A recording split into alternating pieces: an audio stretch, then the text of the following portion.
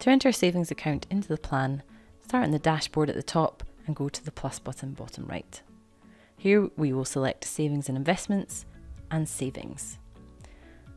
Make sure the owner of the savings account is correct and you can select another person in this window if it's jointly owned. Enter the name of the savings account and the current balance at the start of the Voyant plan. The interest rate is entered in this section here. The default value is taken from your plan settings, and it's a good idea to start in the plan settings before building a case. You can change this interest rate for this individual account here as well. We're going to enter a contribution. You can enter contributions of different types, either amount, an amount increasing with inflation, or a percentage of income.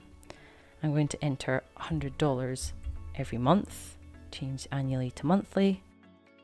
You need to make sure if you're entering a contribution that there's available surplus money in the plan in order to make that saving.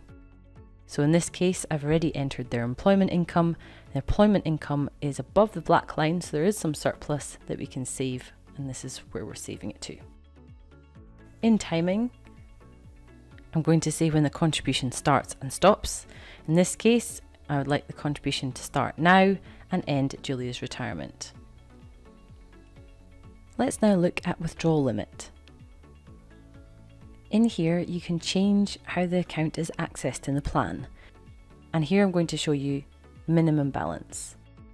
If I put in $20,000 into this minimum balance, this will keep $20,000 ring fenced in the plan. So it will allow money above that to be spent if needed, but it will not allow $20,000 to be spent any time in the plan, even if there's shortfall. And essentially, this is setting up an emergency fund. Okay, I'll go and click Save.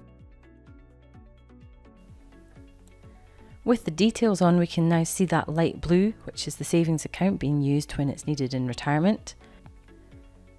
You can go into Year View to see the details of each year in the plan. Click on Investments to see all the savings and investments accounts, and the end of year balances, contributions, and withdrawals for each year. If I click on the name of the account, it shows me more information. I set up a contribution of $1,200. Uh, that, that was the $100 a month. And it planned to make that, and it did actually do that. So look for what's actually being contributed. The growth rate here is the 1% that I set. There's no fees on savings account for my plan settings, so it's 1% net. And in this year, there's no withdrawals. This is the end of year balance, and if I scroll through to the retirement year, you can see the money being used in the plan.